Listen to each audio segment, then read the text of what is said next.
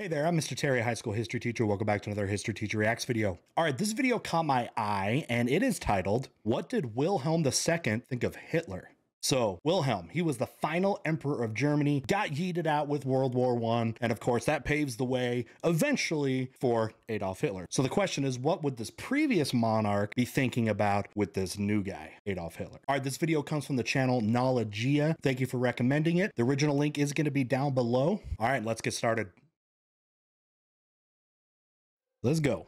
Before the devastating era of the Second World War, before the atrocities of the German state during such time, and before the man at the center of it all, there was an emperor and king who never could have predicted what was to befall his precious homeland.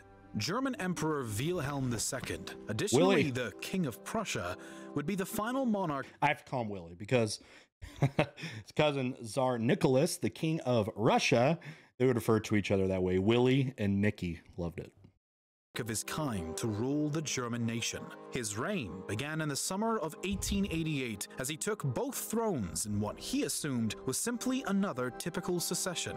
By the way, it's um, worth remembering that when he took um, when he took over, Germany was still a newly unified state you don't go much further back and you get Bismarck, who's kind of seen as the you know um, uniter of the of the common German state. So yeah, it's still kind of a new thing.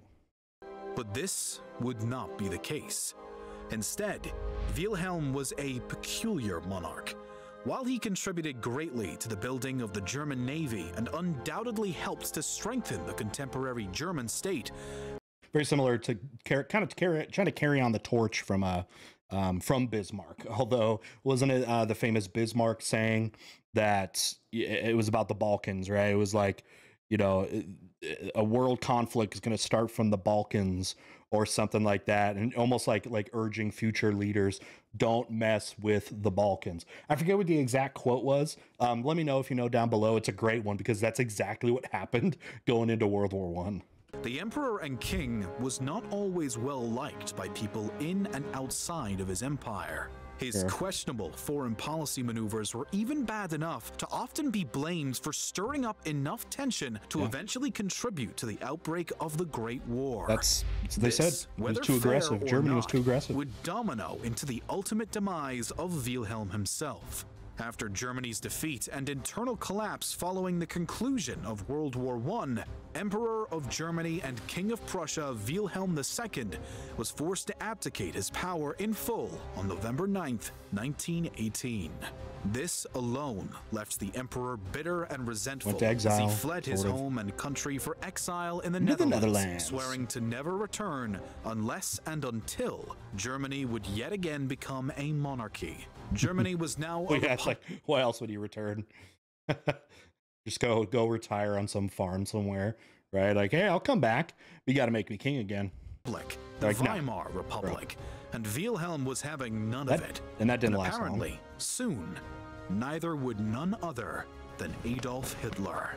In stark contrast in nearly every other way to Wilhelm, Hitler was not a supporter of the former monarchy, and quite frankly found the deposed emperor to be a disastrous failure of a leader. Still, the up-and-coming political juggernaut wasn't satisfied with the Weimar Republic either. He and his party had first attempted a disappointing rebellion in 1923, yeah. which fell flat on its face. You know, um, also inspired by the sort of rebellion, if you want to call it, the year before in Italy under Benito Mussolini, where his group came in, overtook the government, and took power. Adolf Hitler's group, the you know uh, still newly forming kind of Nazi party, uh, tried to do the same thing, but to epic failure.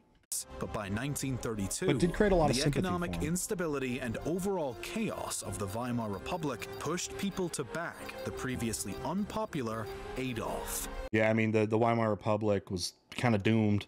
Uh, a very fragile democracy that inherited the problems of uh, World War One, the, the reparations. You're going to have the Depression starting, which started much earlier and to a greater extent in Germany than anywhere else. Uh, doomed to fail almost from the beginning. In a stunning change of tide, the Nationalist Socialist Party catapulted to the top, Not real stunning, the largest to be honest. political party in the German parliament. It was it was it was a growingly popular populist movement at a time of desperation, uh, which was appealing to look how many uh, political parties there are. See- But that was that that had to grow slowly through the 1920s, though, because you know Hitler doesn't come to power till the 30s. Seizing this opportunity, Hitler rose to power in 1933, becoming the Chancellor of Germany that January. This was the Ceremonial point of position. no return and the start of the dark era to come. As Hitler swiftly invoked Article 48 and passed the Enabling Act in an ingenious yet tyrannical attempt to bolster his own power and authority, Wilhelm remained abroad in his Netherlands home. Yeah, what did he think? While no longer living in Germany, the former monarch was far from disconnected from the German political realm. Now, at this point, it's important to keep in mind that Wilhelm himself was beyond disliked. By many, he was hated. Some viewed him as the incarnation of evil, and countless allies and Axis alike blamed him for much of the Great War. I mean, we know we know the Treaty of Versailles put a lot of blame on Germany, right? When there's so much blame to be spread around. Um, but yeah, that that was kind of the general thought coming out, especially especially by the Allies, that of all the powers, it was Germany that was the most aggressive one, right? Not holding back Austria or you know invading into Belgium, a neutral nation, and you know getting involved in that and declaring war on everybody, uh, which they just threw out. The yeah. British people, for example, so badly wanted to see the once powerful monarch executed for all that had happened, in their opinions, due to him alone, that his own relative, King George V of the United Kingdom, All ki- all refused cousins. to speak out in his defense. You didn't know that? King of England, Germany, Russia, all cousins.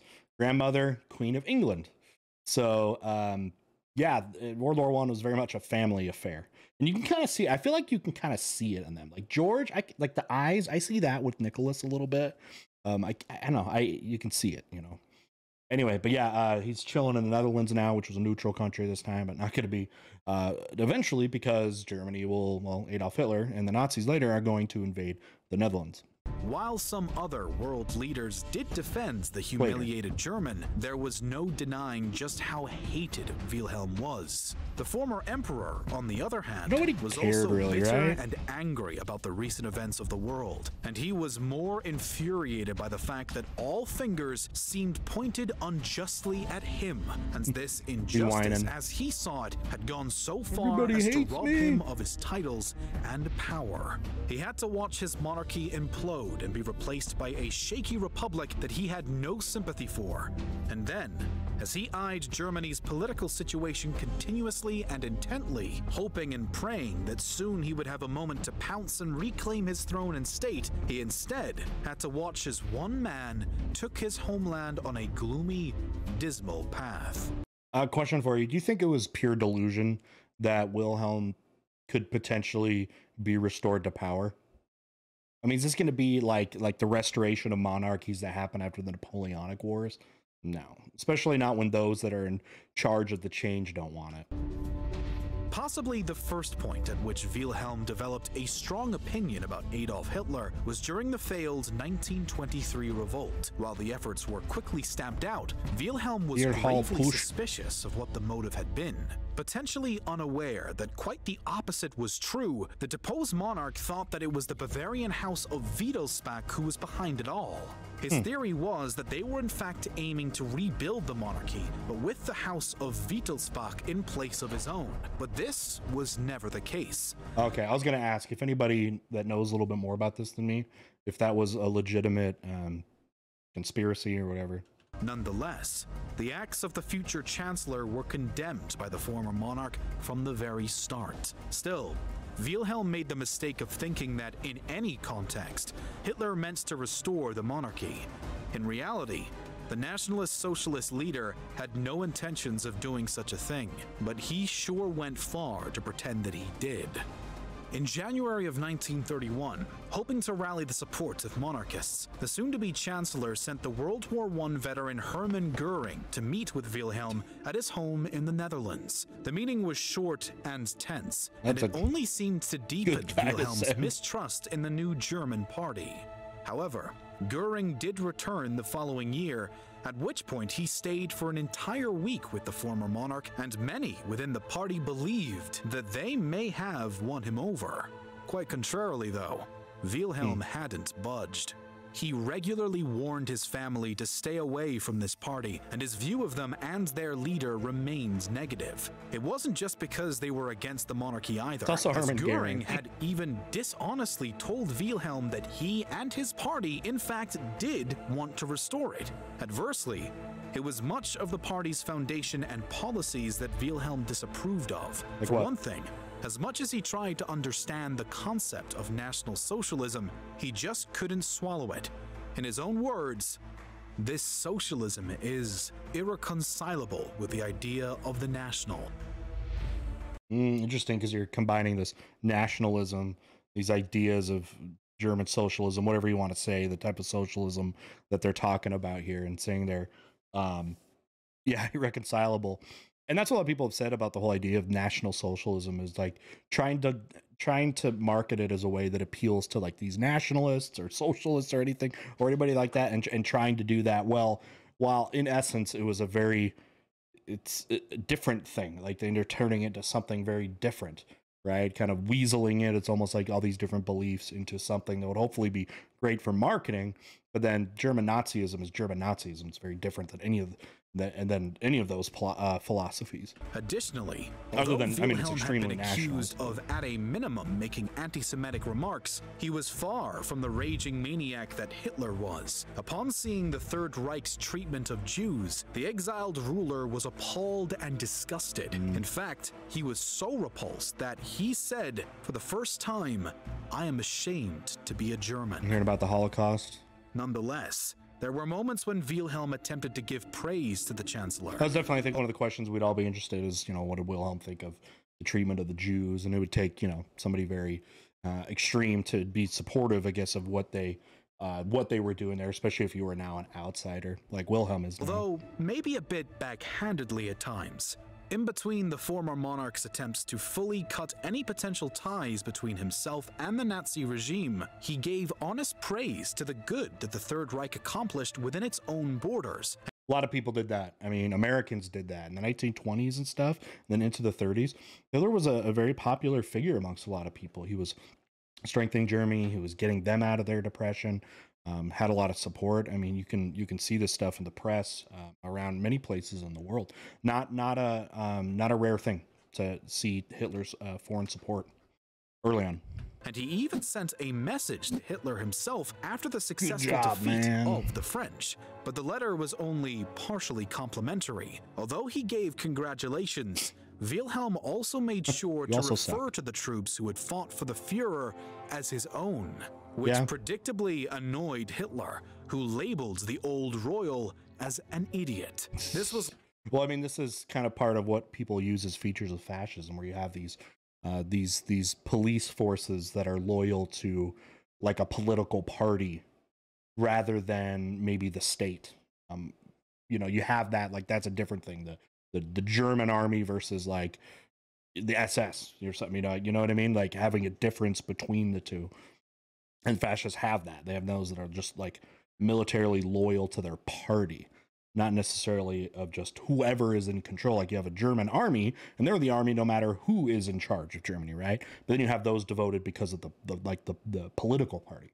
Was likely the last contact between the two men, as Hitler just called him an Wilhelm buddied up to the guards who by now were stationed around his Netherland home due to the German occupation. Hitler was busy with the war and had maintained not an ounce of compassion for the ousted monarch nor his supporters. That would be interesting to, to, to, to learn about here is when Germany does invade the Netherlands, what was going on with Wilhelm then? Nevertheless, the Chancellor Was was far from Was he, you know, stupid and heavy handed with manipulation. Hence, when Wilhelm inevitably passed away on June 1941, German authorities saw this as a wonderful gift. Not only was their longtime rival and critic gone, but this was the perfect opportunity for a theatrical propaganda event. The plan was clear host an extravagant state funeral service in Berlin for the Just like for Hindenburg before, show respect to the old people to what gain support for those or get support from those supporters, right? Still give respect to Wilhelm, to Paul, von Hindenburg. He was the uh, president of the the uh, uh, Weimar Republic, the guy right before. Hitler. once beloved and final emperor of the German Empire. Hitler was to play the part of the heartbroken successor, and an end to the era of the monarchy could finally be seen. The idea seemed easy enough to enact until, that is, the final will of Wilhelm II Oh, yeah? was addressed. Predicting the Don't- conniving schemes Will no, nothing goes to Hitler. Don't give him any of my stuff. of the Fuhrer, Wilhelm strictly forbade any such funeral for himself and directly stated that he was to be buried right where he oh, died, Oh, wow. on his own estate in the Netherlands. Well, nobody did that. The opinion of the Emperor Nobody of paid Germany attention. and King of Prussia, Wilhelm II, concerning the dictator that would follow was a combination of disgust, resentment, and overall disapproval. It also can be said that the feeling was very strongly Mutual. mutual. Two men at odds over the fate of one state, destined to live and die in opposition. Only the words of Wilhelm himself could sum up his disdain for the Chancellor even more clear. There is a man alone, without family, without children, without God. He Hitler. builds legions, but he doesn't build a nation. A nation is created by families, a religion, tradition. It is made up out of the hearts of mothers, the wisdom of fathers, the joy and the exuberance of children. Germany have any of under those. Hitler is an all-swallowing state, disdainful of human dignities, and the ancient structure of our race sets itself up in place of everything else. The man who, alone, incorporates in himself this whole Cult state of personality. has neither a god to honor, nor a dynasty to conserve, nor a past to consult. This man could bring home victories to our people each year without bringing them glory. But of our Germany, which was a nation of poets and musicians and artists and soldiers, and a bunch of those were purged because they were seen as you know undesirables or jews and all that fit that undesirable category of musicians and artists and writers which he has made a nation down. of hysterics and hermits, engulfed in a mob and led by a thousand liars or fanatics. interesting if you saw let me go back real quick you can see the date of that in the bottom right you can see that uh, 1938 so this is uh, the year before the war. I mean this uh, in 38 though there was already the annexing of territories and things like that so you could see a little bit of foreshadowing potentially but like the real war machine is going to be unleashed uh, in less than a year from this point. All right let me give you my final thoughts. All right hope you enjoyed that and uh, enjoyed some of my commentary and that. Um, that'll be interesting. A, a few pieces i can add definitely to my teaching um, a little bit about um, kind of connecting the different sort of eras in germany of you know again when you kind of look at germany in the big picture when you need to teach about kind of going that flow for the most part from say bismarck to wilhelm uh, to the weimar republic and von hindenburg and then to hitler kind of seeing how all of those are connected and then also how that they're different. Being able to compare and contrast those i think is a very good kind of thing to take out. But as you saw kind of the summary there was most of the things that hitler was doing wilhelm was not approving of you know and there were small things that he thought he thought you know he was doing well and a little bit of taking care of the people i guess. I mean there wasn't a lot of specifics in the video of, of specific things that wilhelm appreciated with hitler but probably mo- more the uh, economic buildup and kind of uh, and, and you know um, reducing some of that hopelessness that did happen uh, but was starting to see success into the 20s and into the 30s and then up to that point. But nevertheless you still see somebody um, that was there. And i don't know if you can if you feel any hint do you think there's any hint of jealousy in a way? Because it did again seem like wilhelm like he was kind of talking out of both sides of his mouth where he's like i'm done with germany but also he was like but i'll come back if they go back to a monarchy which is if that's just completely self-serving.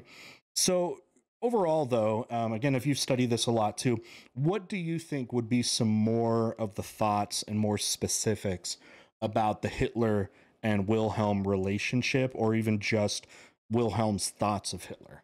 Uh, i think that would be uh, um, again continue to be useful to to uh, to talk about. So let me know. I know a lot of you are big time experts out there. You love this stuff. So i want to learn from you too. So let me know down in the comments All right. Again, this video link is down below. If you have not checked it out, subscribe to Knowledgia. Great content over there. Make sure you do that. And if you're down there in the description, uh, check out some of the other links to some of my other things as well. And with that, we'll see you next time. Bye.